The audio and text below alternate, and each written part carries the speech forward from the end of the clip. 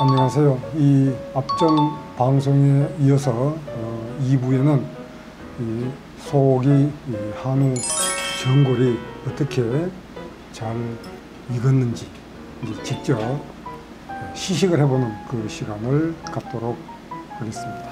자, 먼저 이 전골 냄비 뚜껑을 한번 열어보겠습니다. 자, 이렇게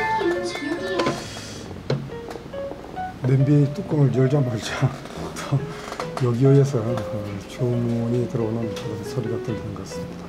전골이 아주 잘 익어서 국물이 그렇게 에, 많이는 남아있지 않는 것 같습니다.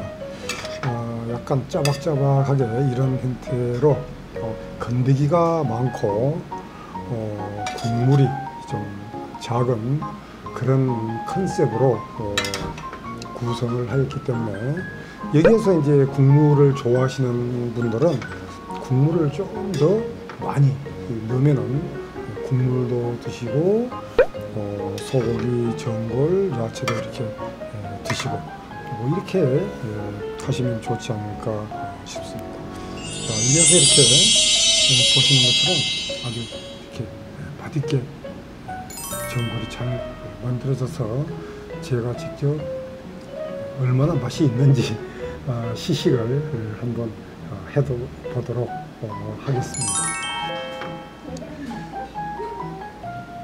어, 제가 지금 이 방송을 하고 있는 곳이 저희 매장이기 때문에 어, 수시로 어, 배달의 민족, 뭐 요기요, 쿠팡이치에서 이렇게 어, 주문 소리가 들려서 어, 약간 뭐 저 자신도 이 방송을 하는 데 있어서 음, 조금 불편하기는 합니다만 에, 어차피 제 유튜브 이 방송 컨셉이 이 식당이고 어, 해서 어, 그렇게 뭐 불편하지 않게 자연스럽게 에, 이렇게 하는 그 분위기 속에서 이 먹방 방송을 하는 것도 어, 좋지 않을까 싶습니다. 자, 그러면 제가 직접 어, 먹어보도록 하겠습니다. 어, 이- 이게 이게 이 새송이 버섯인데요. 음.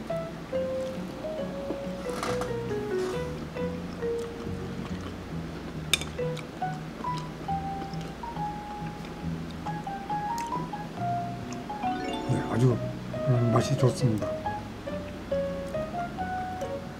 이 당근도 이렇게 색깔이 이렇게 그대로 어, 살아 있으니까 아, 일반 생 당근보다는 훨씬 음, 맛이 있지 않을까.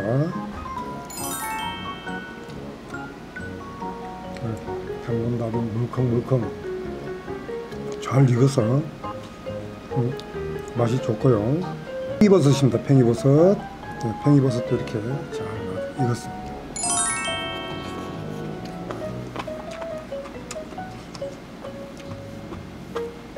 이제 며칠 에, 기다리면 이제 우리 민족의 최대 고유 명절인 이제 중추절이 이 돌아오기 때문에 에, 명절 때도 이런 음식을 준비하셔서 가족들끼리 에,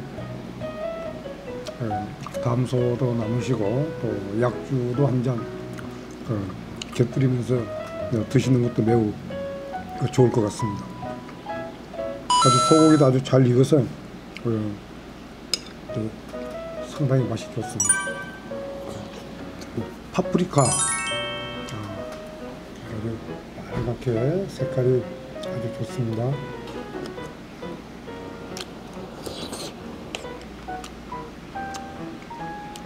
이 파프리카가 어, 생것으로 먹어도 아주 그 달짝지근하게 예, 맛있는데 이렇게 전골하고 같이 삶으니까 예, 당도가 더 높아져서 아주 설탕물처럼 아주 달짝지근하게 좋은 것 같습니다.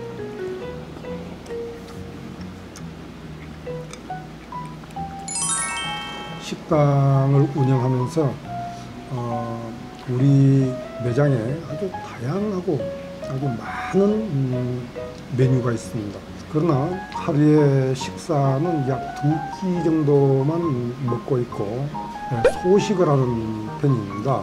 그래서 이렇게 빨리 먹고 많이 먹는 것은 건강에 아주 좋지 않고 또 각종 질병에 시달릴 수가 있기 때문에 소식을 음, 그런 먹방을 앞으로 진행하고자 합니다.